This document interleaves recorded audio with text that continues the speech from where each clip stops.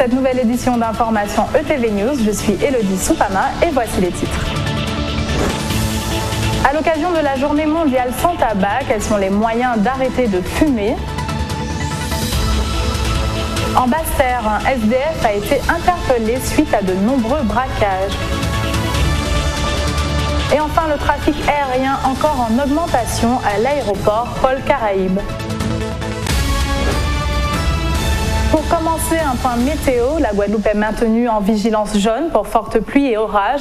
Une nouvelle aggravation pluvieuse est attendue cette nuit. Les précipitations risquent d'être soutenues en de nombreux endroits et de s'accompagner d'orages. Des rafales de vent peuvent également se produire au passage des averses les plus fortes, entre 50 et 60 km/h.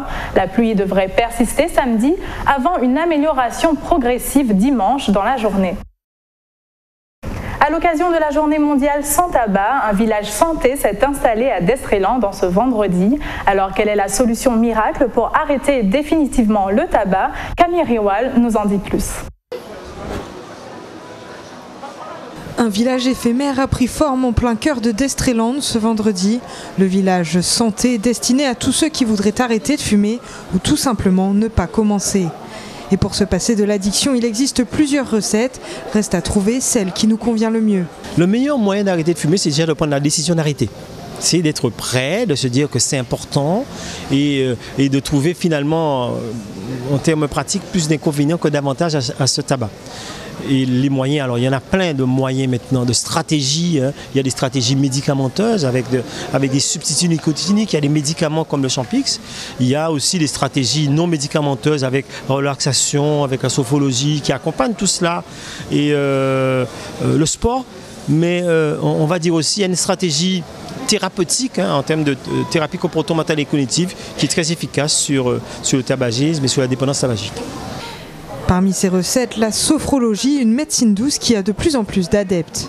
Donc la sophrologie, c'est une discipline qui, aide les personnes qui consultent à trouver la sérénité, l'équilibre entre le corps et l'esprit, entre le mental et le corps. Donc euh, dans le cadre d'un sevrage tabagique, nous pouvons vous accompagner dans toute la gestion du stress, des émotions euh, liées en fait à l'arrêt du tabac.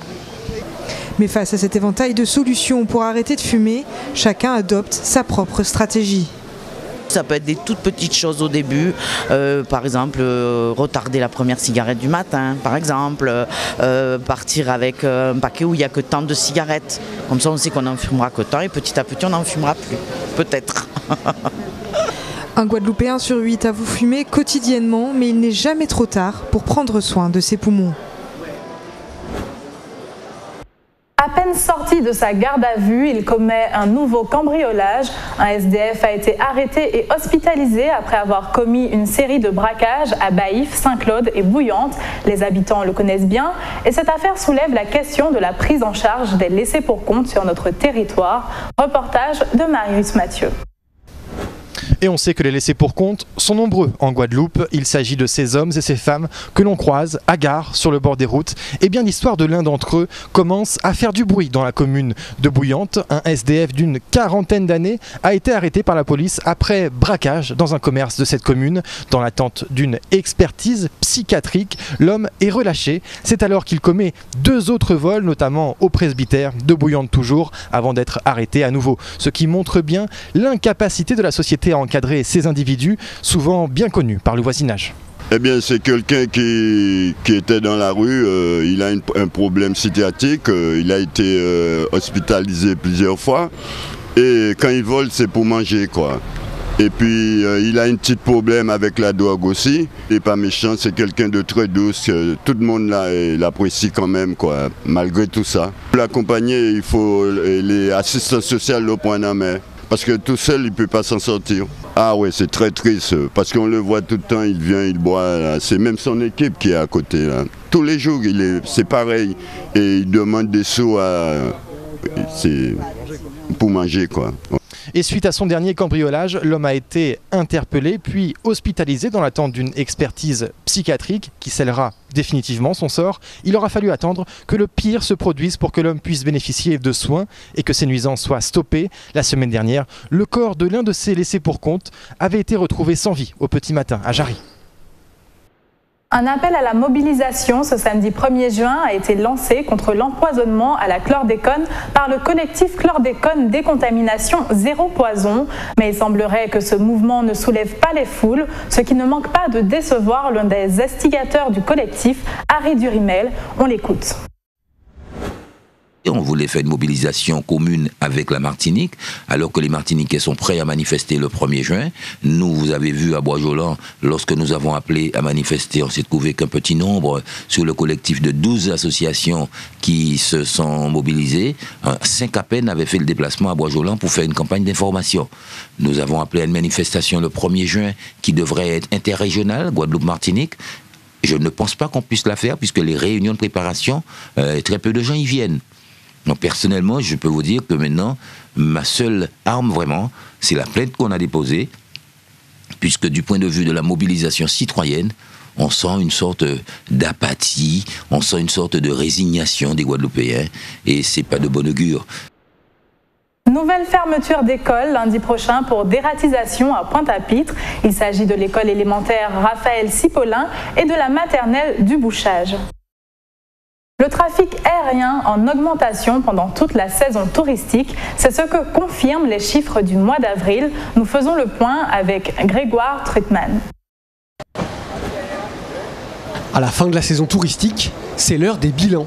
Et du côté de l'aéroport Guadeloupe-Pôle Caraïbes, les chiffres sont encourageants. Avec plus de 117 000 passagers au mois d'avril, le trafic a progressé de 10,5% par rapport à l'année dernière. Les liaisons avec l'Amérique du Nord affichent de bonnes progressions tout au long de la saison. C'est notamment grâce aux lignes vers le Canada, 4% d'augmentation ce mois-ci, et une progression record de 18,6% entre janvier et avril. Les liaisons avec la métropole se portent bien elles aussi. Elles enregistrent une progression de 14% pour approcher les 143 000 passagers. On le doit notamment à une augmentation de l'offre de la compagnie XL Airways et à l'arrivée de l'Evel qui a transporté près de 10 000 passagers, mais aussi au décalage des vacances de printemps qui se trouvaient entièrement sur le mois d'avril cette année. Depuis janvier, c'est plus de 5% de passagers en plus vers la métropole. Les destinations des Caraïbes ne sont pas en reste pour autant. Porté par la Dominique et Saint-Domingue, le trafic progresse de 7,6% dans la région. Quant aux liaisons avec la Martinique et la Guyane, elles augmentent de 6,7%. Des chiffres encourageants qui confirment une bonne saison touristique. Au total, sur le premier trimestre 2019, le trafic aérien progresse de 4,3% en Guadeloupe. Nouvelle augmentation du prix de l'essence à compter du 1er juin. Le super samplon augmente d'un centime comparé au mois dernier et passe à 1,56€ centimes par litre. Le gazole augmente lui de 4 centimes et passe à 1,39€ centimes par litre. Quant à la bouteille de gaz de 12,5 kg, son prix baisse de 91 centimes et passe à 18 euros. C'est la fin de cette édition, mais avant de nous quitter, voici le rappel des principaux types. De la journée mondiale sans tabac, nous nous sommes intéressés aux moyens d'arrêter de fumer. En Basse-Terre, un SDF a été interpellé suite à de nombreux braquages, puis hospitalisé en psychiatrie. Et enfin, le trafic aérien encore en augmentation à l'aéroport Paul Caraïbes. Merci à tous de nous avoir suivis. Dès demain, retrouvez Christine Kelly pour une nouvelle édition du ETV Newsweek.